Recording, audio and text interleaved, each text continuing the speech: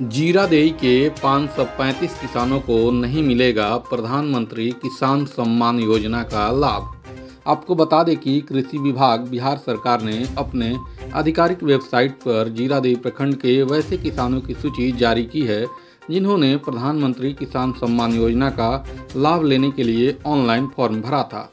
लेकिन कुछ कुछ त्रुटियों के कारण इन किसानों का फॉर्म रिजेक्ट कर दिया गया है। फॉर्म रिजेक्ट हुए किसानों की लिस्ट कृषि विभाग, बिहार सरकार की आधिकारिक website D B T agriculture dot Bihar dot gov dot in पर जारी की गई है।